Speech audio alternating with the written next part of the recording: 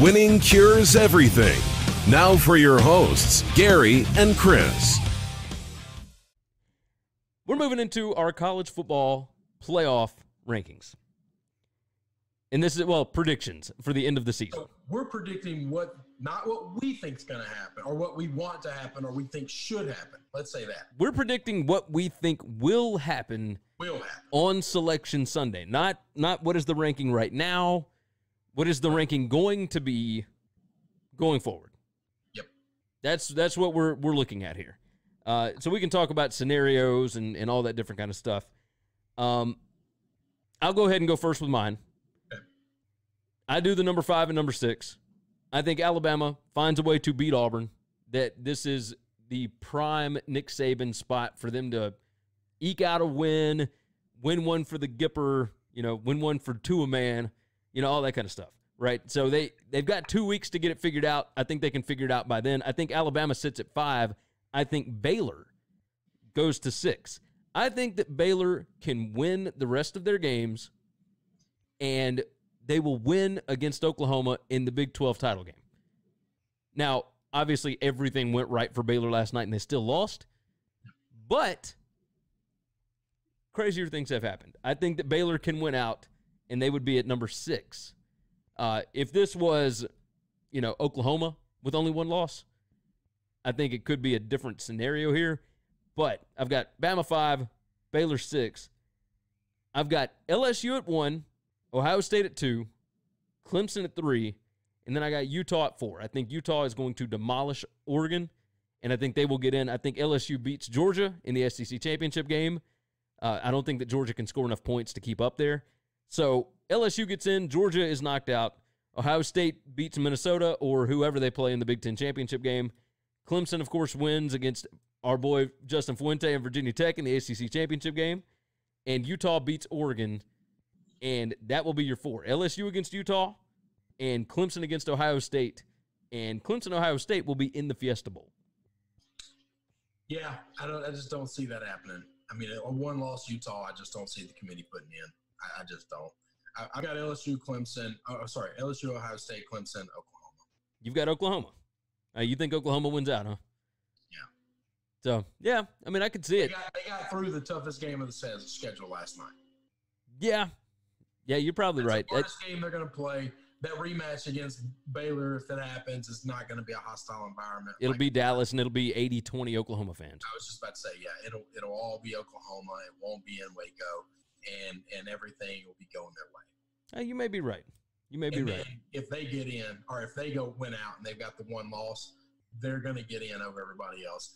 The Jalen Hurts story is a story everybody loves. The Lincoln Riley story is a story everybody loves. And you know how college football cares about that stuff more than they actually care about the play. Oh yeah, and of course you'll have Jalen going up against LSU again. You know that kind of stuff. Yeah, I could I could see that happening. Jalen going back to uh, the Peach Bowl, back to Mercedes-Benz Stadium, which is where he got pulled. Yeah, where he got pulled. Yep. Whew. And then where he had his redemption story against Georgia the next year. Like, yeah, yeah, you're right. I mean, if if they went out, hundred percent Oklahoma's in. Oklahoma wins out. They're the nod, and I don't think it's close. Um, and and I, I'm gonna tell you, I'm. This is an honest opinion, and Utah people can hate me all you want. This is how the committee's gonna see this. If if it's Utah out of the Pac-12 and Baylor out of the Big 12, they're gonna put in Georgia, a two-loss Georgia team. Because Georgia's loss will be a terrible loss, and then they'll have the loss to LSU. Georgia's going to get in.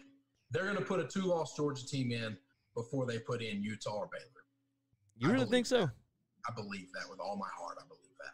I cannot wait for Tuesday night's rankings. I, I want to. that, that won't. I mean, we won't see that in Tuesday's night's rankings, but that's going to happen. That you you may you may be right. I don't know. Like that's that's They very interesting. The we think the better team should go. That's how they've gotten Alabama in all these times. Is the you know are they the better team? Then they they're rightfully there, and they're going to say Georgia's the better team. Yeah. Wow. They're to say Georgia's better than a one-loss Alabama without Tua, and they're going to say Georgia's better than a one-loss Utah, and they're going to say Georgia's better than a one-loss Baylor. And that's how they're going to justify. That's crazy. They're better than a one loss or two loss Minnesota. They're better than a one loss Penn State, maybe. The, you know, the, well, I guess both those teams will have two losses if Ohio State goes undefeated. But like, yeah, If that's going to happen. you think if if Michigan wins out, you think any chance Michigan could? Well, if Michigan wins out, absolutely, because then Michigan wins the Big Ten. No, nope. They've got two losses. Oh, the Mich- Oh, yeah. Ohio Okay, State would still go. That's not, no, if Michigan beats Ohio State in the regular season, Michigan will get that. No question about that. Yeah, Michigan would get it over Georgia. happening. But yeah, but a two-loss team that's a big name school will give the nod over Baylor or Utah. That's that's nuts. That is how the committee does it, though. And I don't know that Michigan wouldn't be deserving if they beat Ohio State because they won to get there as opposed to, in my scenario, Georgia losing to get there. Yeah, yeah, yeah. You're right. You're right. All right, that's going to wrap up the show. Of course, go and check out tunicatravel.com. Tunica, Mississippi, the sponsor of the show. They uh they are the South's premier sports gambling destination. They got six incredible sports books. Tunicatravel.com will tell you more about them. You can also find us over at winningcureseverything.com. If you're watching on YouTube, hit that subscribe button, hit that like button, leave us some comments, tell us what your picks for the playoff are, tell us what you think we got right, what we got wrong, etc. If you're listening on the podcast, especially Apple Podcast, hit subscribe, leave a nice review. Five stars, whatever it is. Tell us how much you like us, make it entertaining. We'll read it on the show, of course. uh, winningcureseverything.com is the website. Of course, our picks, previews, podcasts, videos, all of our social media platforms. We appreciate you guys hanging out with us, and we will see you all again next time.